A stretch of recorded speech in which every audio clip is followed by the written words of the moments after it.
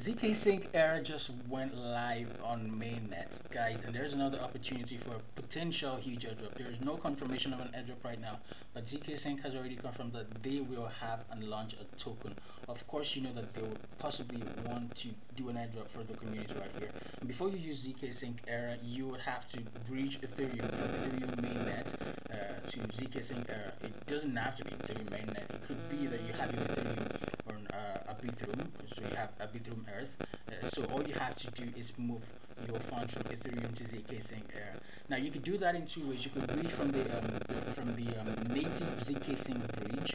I'm going to make a video on how to use that one later, or you can do this on, on Orbiter Finance, which is what I'm using for this video right now. So you can see. So this is Orbiter. I'm going to leave a link in the description as I always do. So once once you visit Orbiter, you have to simply connect your wallet and then come on here. You're going to see that this would be by default on V1. So I would recommend you toggle this button move to V2 just to be uh, using the um, the latest version of Orbiter.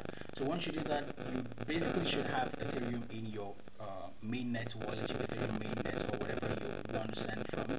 And for example, you put in the figures that you want to use. For example, you want to send 0.01 ETH to send it over to ZK Sync Era. Make sure you choose ZK Sync Era, not ZK Sync Lite, guys. They are not exactly the same. So select ZK Sync Era right here, move your Ethereum. In case you want to move your Ethereum, uh, your ETH from uh, BNB chain or Arbitrum or any other chain you have it, you can switch the network right here.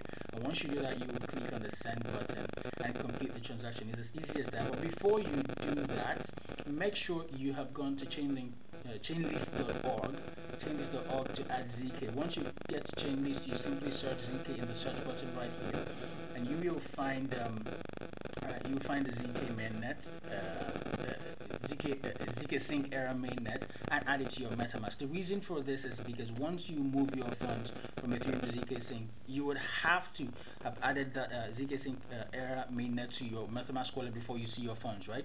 And so you need to add your ZK Sync Era mainnet to your MetaMask so that you could easily see your funds. So you don't get to look for your funds. And if eventually you want to breach back, you can simply come back to Orbiter Finance, you know, click this button or just do it through this button here and search from ZK Sync Era to Ethereum and do this, alright? This is how you're going to uh, interact with the bridge and not just the bridge, okay? There are uh, a number of uh, platforms right now that are coming. I'm probably going to do a video on some of them, some um, some DEXs, NFT protocols that you can use on ZK Sync right now to interact and stack up your transaction volumes right here. Actually, I would like you to utilize, because I'm going to be doing some of this, utilize ZK Sync. I mean, it's an exciting platform, a scaling, solution.